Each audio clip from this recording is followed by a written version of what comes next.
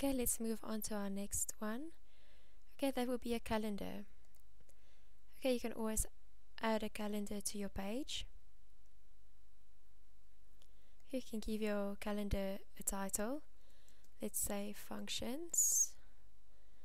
Once again, advanced is just the padding around the section. Save and finish.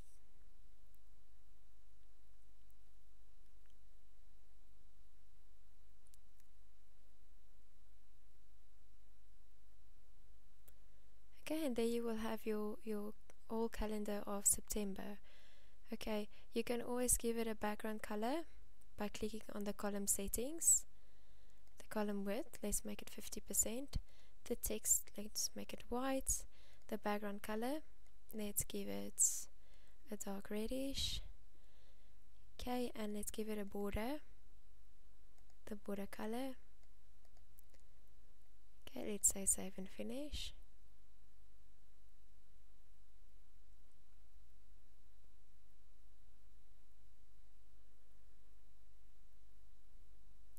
and there you have your calendar displayed in a in a colored box.